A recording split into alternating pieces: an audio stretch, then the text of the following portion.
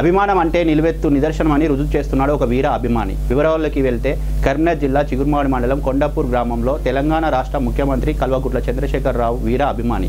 బత్తుల వెంకటేశం తన ఇంటి ముందు ఆవరణలో కేసీఆర్ విగ్రహాన్ని ప్రతిష్ఠించారు.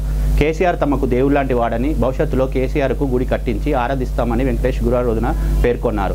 భారతదేశంలో ఎక్కడా లేని విధంగా తెలంగాణ రాష్ట్రంలో అనేక ప్రజా సంక్షేమ పథకాలు చేపట్టి దేశానికే ఆదర్శంగా నిలుస్తుందని తెలిపాడు. తెలంగాణ సాధించిన వ్యక్తి ఒక శక్తి ముఖ్యమంత్రి కేసీఆర్ అని అన్నారు.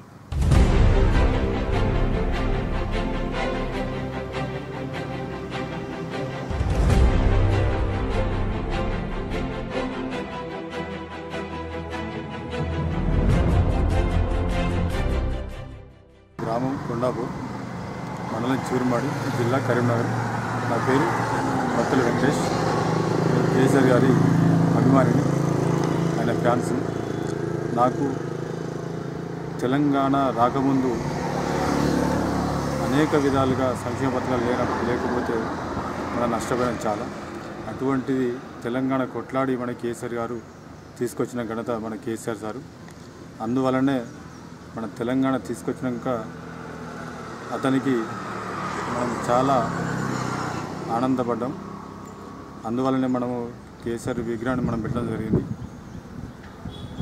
మన రాష్ట్రాన్ని డెవలప్మెంట్ చేస్తారనే ఆశతోటి చాలా గర్విస్తున్నాం. జై కేసీఆర్. మీ ఇంటి ముందట పెట్టుకున్నారా? లేకుంటే వేరే ప్లేసా? మన ఇంటి ముందు పెట్టుకున్నాం. ఇంట్లోనే త్వరలో అతి త్వరలో కేసీఆర్ని కలిసి కూడా మన కొండాపూర్ గ్రామానికి తీసుకురావాల్సిన కోరుకుంటున్నాను. మరియు అదేవిధంగా కేసీఆర్ని ఒక గుడిలాగా ఇంట్లోనే గుడి లెక్క కట్టుకుంటాను అనుకుంటున్నాను.